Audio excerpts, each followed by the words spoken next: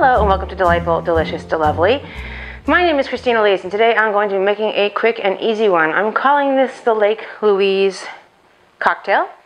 My friend Bianca, it's her favorite drink and she orders it at the hotel in Banff at Lake Louise in Canada.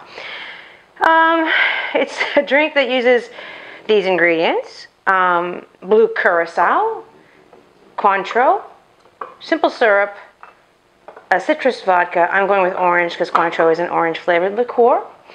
And a lemon twist. I'm going to measure with this shot glass. It's not it's an imperfect measurement system, but all of the I'm going to call this an ounce. It's probably more than an ounce, but I'm going to call it an ounce.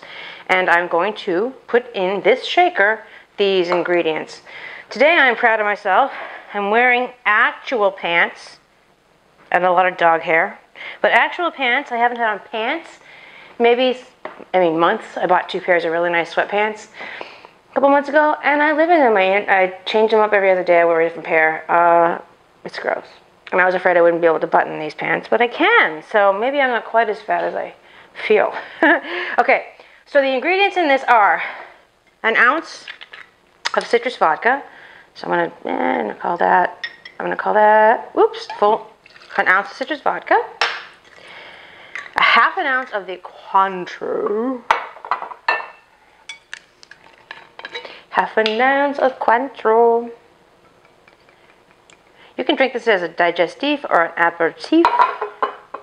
It smells very, very, very orangey. I think triple sec is the same thing. Am I wrong? Am I right?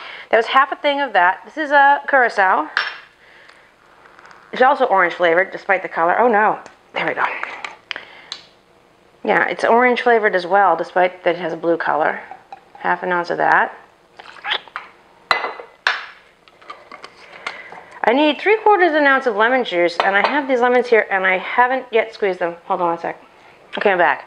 I squeezed some lemons from my backyard. I need three quarters of, oops, a seed went in there. A seed that I can't get out. Hey, shite, I can't get the seed out. Three quarters of an ounce of freshly squeezed lemon juice, and the same amount, equal part, three quarters of an ounce of simple syrup. Simple syrup is equal parts sugar and water. You can heat some water up, make it warm, dissolve, dissolve some sugar in it, and you have simple syrup, and it keeps for a long time. It's just sugar and water. All right. Now before I shake this, I want this glass to look really pretty. So I'm going to show you the trick of a sugar rim. I have an old-fashioned vintage coupe here. I have in front of me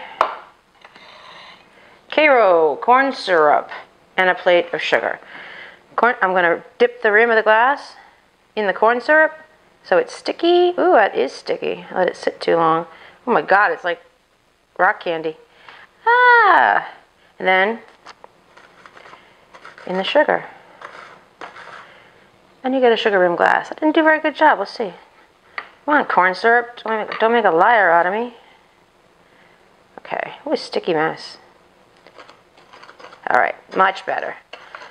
Making a mess. There she is, beautifully sugar rimmed. That was sticky mess though. Hang on. Yuck, yuck, yuck, yuck, yuck. All right.